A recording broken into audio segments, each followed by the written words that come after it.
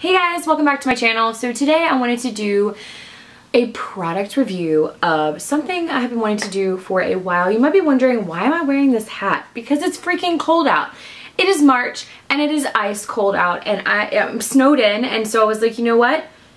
What a great time to film some videos. So um, the product review I wanted to do was on Molly Cosmetics Silisponge. Now, I don't know if you guys have seen this. I know like Jeffree started a review on it and he said it was called, he called it the beauty killer or beauty, he called it the beauty blender killer. Now, pretty much, um, I ordered this product in, back in December, maybe January, December? December. And it did not get to me until mid-January. So I haven't had it too long, but um, it came in, a, it came in a, a, little bit of a bigger package, but this is what the actual sponge came in. It's got their cute logo. I actually like their logo. Um, it's Molly Cosmetics. I believe they are based out of Hong Kong. Hong Kong, Kong, I'm not sure. Um, so that's why it probably took so long. It has to go through customs to get to you, uh, yada, yada, yada. Uh, but it does take about a month. And they were on back order at the time. Uh, this product, uh, it looks like this and it retails for I believe $10 right now. Now that doesn't include the shipping. They have another sponge that's like similar, the texture is the same, but it is round and it's got like a little bit of like glitter or sparkles in it. But um, this is the Silisponge. The cool thing about this is it is made of silicone. That is why the name is Silisponge.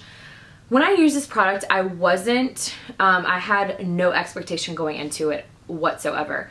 Um, when I use, mainly what I use to put my foundation on is uh, like a kabuki brush or like a, a stippling brush or whatnot and just kind of, you know, buff it in.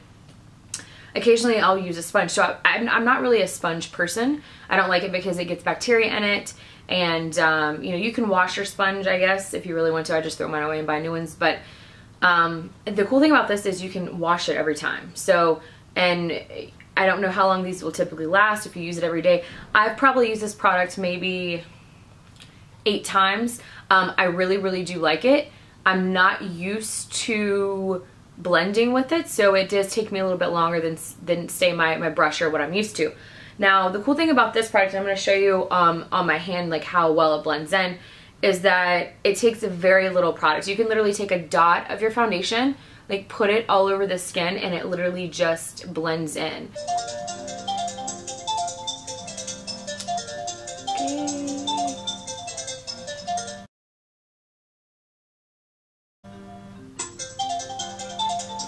Doesn't want to stop ringing.